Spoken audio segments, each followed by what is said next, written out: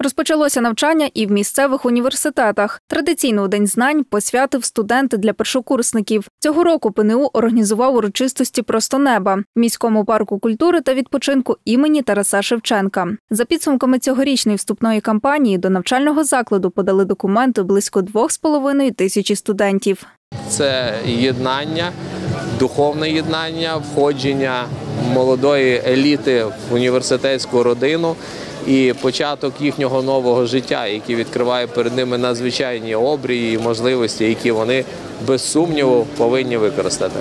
Під час посвяти новачки виголосили клятву студента. Першокурсникам із найвищими балами при вступі вручили залікові книги. Популярними спеціальностями серед абітурієнтів ПНУ стали іноземні мови, правознавство та комп'ютерні науки. Крім цього, побільшало охочих опанувати українську мову, історію та політологію. Так як я люблю дуже сильно історію, я вибрала професію політології, яка пов'язана як із історією, так і з політикою.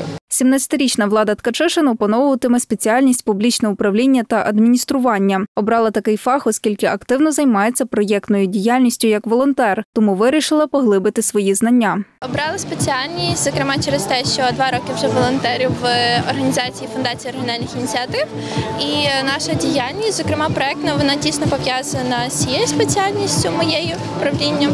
І тому якось я вже під час волонтерства відчула, що це моє, і так і пішла за покликом серця. Під час урочистостей професору Олександру Бобку вручили звання почесного доктора ПНУ. А от студентів ректорат та гості закликали до постійного саморозвитку і не лише в межах вишу.